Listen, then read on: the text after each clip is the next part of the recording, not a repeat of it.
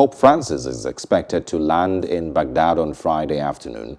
Uh, the capital woke up amid heightened security measures and a curfew expected to last four days. Iraq is deploying thousands of additional security personnel to protect Pope Francis during his four-day visit, which comes after a spate of rocket and suicide bomb attacks raised fears for the Catholic leader's safety. Nearly two weeks ago, the Iraqi government banned most travel between provinces and imposed a nationwide curfew from 8 p.m. to 5 a.m. on weekdays and for 24 hours a day on Friday uh, to Sunday, following a sharp rise in COVID-19 infections.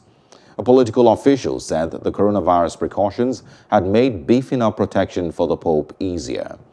The trip by the 84-year-old leader of the world's Catholics was announced in December and would start in the capital Baghdad and includes stops in uh, Ur, a city linked to the Old Testament figure of Abraham, Erbil, Mosul, and Karakosh in the plain of uh, Nineveh. Hello, hope you enjoyed the news. Please do subscribe to our YouTube channel and don't forget to hit the notification button so you get notified about fresh news updates.